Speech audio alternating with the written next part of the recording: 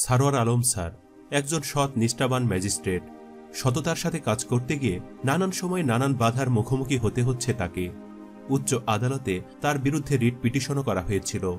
তার বিরুদ্ধে ক্ষমতা অপব্যবহার, শিশুদের দণ্ড দেওয়া সহ নানা অভিযোগ উত্থাপন করা হয়েছে। কিন্তু সারোয়ার আলমকে আটকানো যায়নি। তারপর তাকে বদলি করা হলো। সবশেষে তার অধীনস্থদেরও পদোন্নতি হলেও একরকম অবজ্ঞায় করা হলো তাকে। অথচ কতই না রাত দিন পরিশ্রম করেছেন তিনি। বহু ঝুঁকি নিয়েছেন। ক্যাসিনো অভিযান তো আছেই। সারোয়ার আলমের কার্যক্রমের ফিরিস্তি লিখলে বড় বড় বই লেখা যাবে। একটা একটা অভিযানের ঘটনা নিয়ে একটা একটা সিনেমা তৈরি করা যাবে। তার অনেক অভিযান বলিউড, হলিউডের সিনেমার সঙ্গে তুলনা করা যায়। শতাধিক বড় বড় অভিযান করেছেন তিনি। ছোট ছোট অভিযান ছিল তার দৈনন্দিন রুটিন। সেই সব অভিযানগুলোর মধ্যে সবচাইতে আলোচিত ও ঘটনাবহুল কিছু অভিযান নিয়ে আমাদের আজকের ভিডিওটি সাজানো হয়েছে। আশা করি ভিডিওটি না টেনে শুরু থেকে শেষ পর্যন্তই দেখবেন। আর আপনি আমাদের চ্যানেলটি এখনও সাবস্ক্রাইব করে না থাকলে এক্ষুনি চ্যানেলটি সাবস্ক্রাইব করে নিন ও পাশে থাকা বেল বাটনটি আলতো করে প্রেস করে নিন। দুই হাজার পনেরো সাল থেকে র্যাবের নির্বাহী ম্যাজিস্ট্রেট হিসাবে দায়িত্ব পালন করছেন সারোয়ার আলম। তবে প্রথম আলোচনায় আসেন দুই হাজার চোদ্দ সালে। ফার্মগেটের ওভারব্রিজ বাদ দিয়ে সরাসরি যারা রাস্তা পার হচ্ছিলেন তাদের নামমাত্র জরিমানা করে সচেতন করেছিলেন তিনি। তার পরিচালিত অভিযানের মধ্যে অন্যতম হল দুই হাজার বিশ সালে হাজি মোহাম্মদ সেলিমের ছেলের বাসায় অভিযান। রিজেন্ট হাসপাতালের ভুয়া করোনা রিপোর্ট তৈরির বিরুদ্ধে অভিযান এবং দুই হাজার উনিশ সালের সেপ্টেম্বরে ফকিরাপুলে ক্যাসিনোর আসরে অভিযান। দুই হাজার উনিশ সালের আঠারো September ফকিরাপুলের young men's club, Wanderers club ও মুক্তিযোদ্ধা সংসদে অভিযান চালান তিনি। একশো বিয়াল্লিশ জনকে বিভিন্ন মেয়াদে সাজা দেন। উদ্ধার করা হয়। ক্যাসিনো থেকে উপার্জিত অবৈধ চব্বিশ লাখ উনত্রিশ হাজার টাকা। একই বছরের একুশ সেপ্টেম্বর নিকেতনে যুবলীগ নেতা জি কে শামীমের অফিসে অভিযানে যায় র্যাব। সেখানেও ছিলেন সারোয়ার আলম। অভিযানে জি কে শামীমের কার্যালয়ে তল্লাশি চালিয়ে অবৈধভাবে উপার্জিত নগদ এক কোটি আশি লাখ টাকা, দুইশো কোটি টাকার এফডিআর, বিদেশি ডলার, মদ ও অস্ত্র উদ্ধার করেন তিনি। দুই সালের সতেরো সেপ্টেম্বর ঢাকার হাতিরপুলে যুক্তরাজ্য ও যুক্তরাষ্ট্রের বিভিন্ন কোম্পানির পণ্য নকল করে বাংলাদেশে উৎপাদনের কারখানায় হানা দেন সারোয়ার আলম। হাতে নাতে ধরে সিলভান ট্রেডিং কোম্পানি ও টোটাল ফার্মাকে চল্লিশ লাখ টাকা জরিমানা এবং দুজনকে জেল দেন তিনি। মহামারী শুরু থেকেই করোনা সুরক্ষা সামগ্রীর মান সরবরাহ ও দাম মনিটরিংয়ে মাঠে একজন সম্মুখ যোদ্ধা হিসাবে তৎপর ছিলেন সারোয়ার আলম।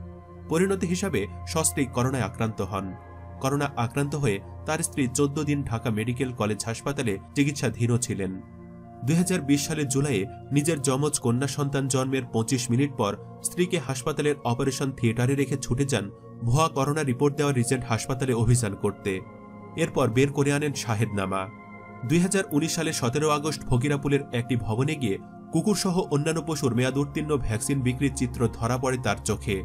অভিযানে গিয়ে দেখেন, দুই হাজার বারো সালে মেয়াদ উত্তীর্ণ হওয়া জলাতঙ্ক বার্ড ফ্লুর ভ্যাকসিন দু হাজার উনিশ সালে কুকুরের দেহে দেওয়ার অভিনব প্রতারণার চিত্র।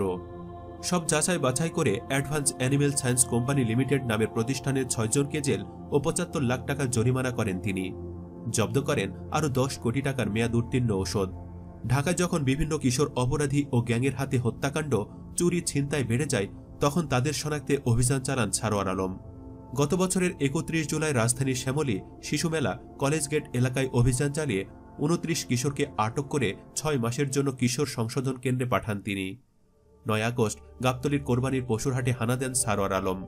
হাতে নাতে ধরেন একজন পশু চিকিৎসককে। ওই চিকিৎসক গরু মোটাতাজাকরণ স্টেরয়েড ইঞ্জেকশন দিচ্ছিলেন। ছয় মাসের কারাদণ্ড দেওয়া হয় তাকে। দুই হাজার উনিশ সালের সাত আগস্ট নারায়ণগঞ্জের আড়াই হাজারে Baro Aulia dairy mill and food লিমিটেডে অভিযান চালান সারোয়ার আলম। গিয়ে দেখেন একশো লিটার দুধের সঙ্গে পানি। স্কিম মিল্ক পাউডার ও বিভিন্ন রাসায়নিক দ্রব্য মিশিয়ে দুই হাজার আটশো লিটার পাস্তরিত দুধ তৈরি করা হচ্ছে। প্রতিষ্ঠানের পরিচালক সহ বারো জনকে কারাদণ্ড এবং আটান্ন লাখ টাকা জরিমানা করে ফ্যাক্টরি সিলগালা করেন তিনি। দু হাজার উনিশ সালে জুলাই মাসে সারা দেশে যখন ডেঙ্গু জ্বরে আক্রান্তের সংখ্যা বাড়তে থাকে, তখন হাসপাতালগুলো ডেঙ্গু ও সিবিসি পরীক্ষায় ইচ্ছামতো ফি আদায় করতে থাকে। সংবেদনশীল বিষয়টি নিয়ে অভিযান শুরু করেন সারোয়ার আলম। একত্রিশ জুলাই ডেঙ্গু পরীক্ষায় সরকার নির্ধারিত ফির চেয়ে বেশি নেওয়া এবং টেস্ট না করে প্যাথোলজিক্যাল রিপোর্ট দেওয়ায় পল্টন ও ফকিরাপুল এলাকার চারটি হাসপাতাল ও ডায়াগনস্টিক সেন্টারের পাঁচজনকে জেল ও আঠারো লাখ টাকা জরিমানা করে প্রতিষ্ঠান দুটি সিলগালা করেন সারোয়ার আলম। দুই হাজার বিশ সালের উনত্রিশ জুলাই উত্তরার ক্রিসেন্ট আর এমসি ও লুবনা হাসপাতালে অভিযান চালান সারোয়ার আলম। গিয়ে দেখেন, টেস্ট না করে দেওয়া হয় মাইক্রোবায়োলজিক্যাল ও কালচার টেস্ট রিপোর্ট। রিপোর্টের ফাঁকা পাতায় অগ্রিম স্বাক্ষর দেওয়া। ভেতরে চৌত্রিশ টাকা পঞ্চাশ পয়সার প্যাথেন্ট্রিন তিনশো পঞ্চাশ টাকায়। চার টাকার ওষুধ একশো টাকায় বিক্রি হচ্ছিল। ল্যাব আর অপারেশন থিয়েটারে পাওয়া যায় মেয়াদোত্তীর্ণ এজেন্ট ও সার্জিক্যাল সামগ্রী।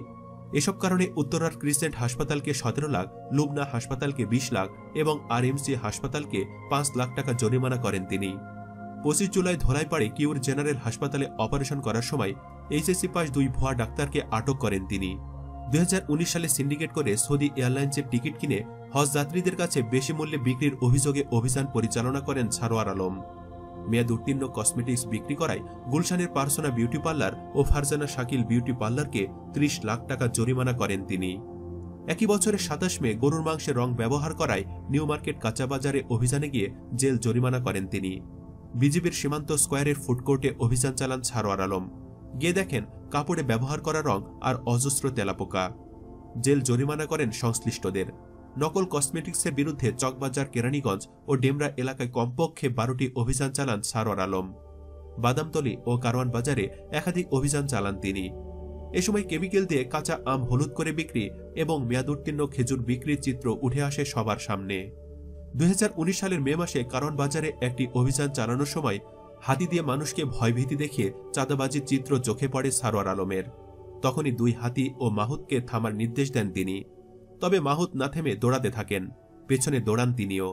অবশেষে হাতির ঝিলে গিয়ে আটকান তাদের। দুজনকে ছয় মাসের কারাদণ্ড দেন তিনি। দুই হাজার উনিশ সালের বিশ ফেব্রুয়ারি পুরান ঢাকার চকবাজারের চুড়িহাট্টায় ঘটে ভয়াবহ অগ্নিকাণ্ডের ঘটনা। ওই ঘটনার পর একের পর এক ক্ষতিকারক কেমিক্যাল কারখানা সরানোই অভিযান চালান তিনি। দুই হাজার আঠারো ও দুই সাল জুড়ে বড় বড় হাসপাতালে অভিযান চালান সারোয়ার আলম। অভিযানে মেয়াদোত্তীর্ণ রিয়েজেন্ট ব্যবহার ও অনুমোদনহীন ওষুধ বিক্রির অভিযোগে গুলশানের ইউনাইটেড হাসপাতালকে বিশ লাখ টাকা, অ্যাপোলো হাসপাতালকে পাঁচ লাখ ও পপুলার ডায়াগনস্টিক সেন্টারকে পঁচিশ লাখ টাকা জরিমানা করেন তিনি। এছাড়া একই অভিযোগে পান্থবতের বিআরবি হাসপাতাল, সমরিতা হাসপাতাল ও বাংলাদেশ স্পাইন হাসপাতালকে আঠারো লাখ টাকা জরিমানা করেন সারোয়ার আলম। নানা অনিয়মের অভিযোগে চট্টগ্রামের ম্যাক্স হাসপাতালকেও দশ লাখ টাকা জরিমানা করেন তিনি। সারোয়ার আলমের এমন সাফল্যের জন্য দুই হাজার উনিশ সালের বিশ মে তার মাকে গরবিনী মা পদক পরিয়ে দেন জাতীয় সংসদের স্পিকার ড শিরিন শারমিন চৌধুরী। অসাধারণভাবে কাজ করে চলা সারোয়ার আলমকে দুই হাজার বিশ সালের নয় নভেম্বর প্রবাসী কল্যাণ ও বৈদেশিক কর্মসংস্থান মন্ত্রণালয়ের সিনিয়র সহকারী সচিব হিসাবে বদলি করা হয়। মন্ত্রণালয়ের উপসচিব আলিয়া মেহের স্বাক্ষরিত এক প্রজ্ঞাপনে এ আদেশ দেওয়া হয়। সম্প্রতি পদোন্নতির সকল ধাপ অতিক্রম করেও পদোন্নতি না পাওয়ার ইস্যুতে তিনি আলোচনায় এসেছেন। সাতাশতম ব্যাচের প্রশাসন ক্যাডারে সারোয়ার আলমের নাম সবার উপরে থাকার পরেও তিনি অযোগ্য বিবেচিত হয়েছেন সুপিরিয়র কমিটির কাছে। কিন্তু জনগণের কাছে সারোয়ার আলম অযোগ্য নন। তিনি দেশপ্রেমিক, মানবপ্রেমিক, সৎ ও যোগ্য কর্মকর্তা। জনগণের মতে সারোয়ার আলমই তাদের কাছে হিরো। হিরোদের পদ পদবি সম্পদ বা স্বীকৃতির প্রয়োজন হয় না। হিরোরা মানুষের হৃদয়ে বসবাস করে। তাই সারোয়ার আলম যেখানেই থাক, তিনি তাদের কাছে থাকবেন হিরো হিসাবেই। জনগণের এক একটা অংশ আমি, আপনিও। আপনার কাছে সারোয়ার আলম সত্যিকারের হিরো হয়ে থাকলে ভিডিওটির কমেন্ট বক্সে অন্তত একটিবার ইয়েস লিখে তাকে নিয়ে আপনার মন্তব্য জানিয়ে দিন। আর ভিডিওটি ভালো লেগে থাকলে অবশ্যই একটি লাইক দিন ও বেশি বেশি শেয়ার করুন। পরিশেষে আপনি আমাদের চ্যানেলটি আজই প্রথম ভিজিট করে থাকলে আমাদের অন্য ভিডিওগুলো দেখুন। ভালো লাগলে আমাদের চ্যানেলটি সাবস্ক্রাইব করে আমাদের সাথেই থাকুন। ধন্যবাদ এতক্ষণ সাথে থাকার জন্য।